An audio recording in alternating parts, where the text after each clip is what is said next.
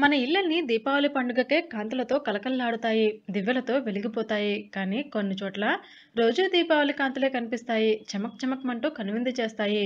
అవి ఎక్కడో ఏమిటో తెలుసుకుందామా?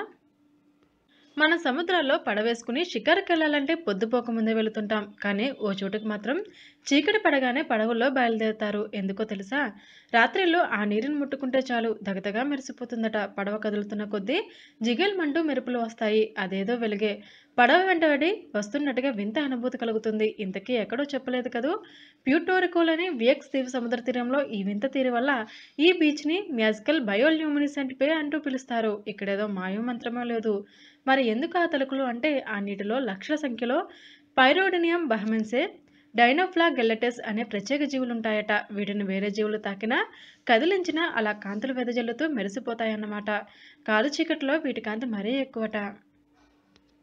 ఎగసి వస్తున్న అలల తీరాన్ని చూసి ఉంటారు. మరి కాంతులైన సముద్ర తీరం చూసారా?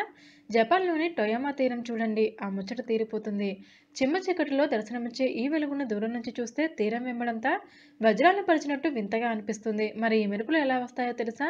ఈ దేశంలో ప్రత్యేకమైన మెరిసే ఫైర్ ప్లేస్ స్పిట్స్ ఉంటాయి.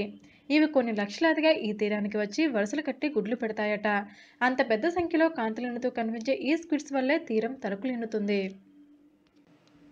నక్షత్రాలు ఆకాశంలోనే కనిపిస్తాయి కదా? కానీ న్యూజిలాండ్లోని వైటోమో గుహలను చూడవచ్చు.